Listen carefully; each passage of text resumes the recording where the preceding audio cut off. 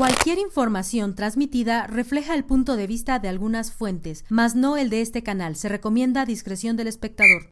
Tras censura, Miguel Bosé cambia de opinión y acepta que el coronavirus existe. Tal parece que el cantante compartió nuevamente su opinión con sus seguidores y denunció no poder usar una de sus cuentas en redes sociales. A través de su cuenta de Instagram, Miguel Bosé compartió que nuevamente fue limitado en el uso de sus redes sociales, específicamente en Twitter, esto después de las polémicas declaraciones que ha hecho sobre el coronavirus. El intérprete ha sido tendencia en más de una ocasión debido a sus comentarios. Sin embargo, el motivo de la más reciente es por un video en el que se le ve usando cubrebocas, luego de haber convocado a una marcha realizada el pasado 17 de agosto en la Plaza de Colón en Madrid para protestar contra el uso del cubrebocas y a la que finalmente no asistió, por lo que ahora el cantante cambió de opinión y así expresó. Lo primero que les voy a hablar es del bicho. Se ha dicho que yo he dicho,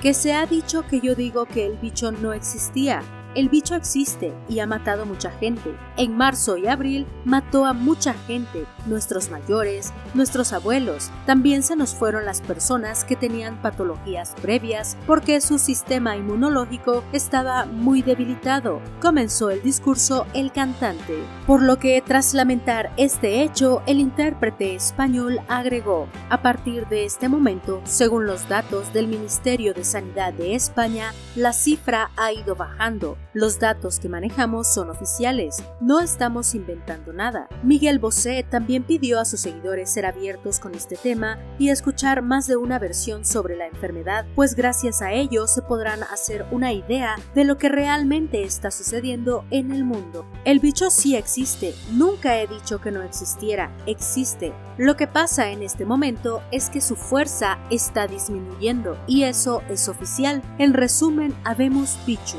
concluyó el cantante. Cabe mencionar que el cantante hizo una convocatoria abierta para que sus seguidores se reunieran en la Plaza Colón con el fin de protestar ante las medidas que ha tomado el gobierno español para enfrentarse a la pandemia, la cual ya ha costado a ese país 28.797 vidas. El llamado de un artista de la talla de Miguel Bosé no es poca cosa, por lo que tuvo muchas respuestas positivas por parte de sus seguidores, quienes sí asistieron a dicha plaza. Sin embargo, él no se encontraba en el lugar, por lo que muchos de sus seguidores esperaron para la llegada del cantante, pues pensaban que solo se había retrasado. Sin embargo, eso no sucedería, ya que Miguel Bosé nunca asistió a la cita que él mismo había convocado. Esto de por sí ya había dejado muy mal parado ante todo el público al cantante. Pero el escándalo no paró allí,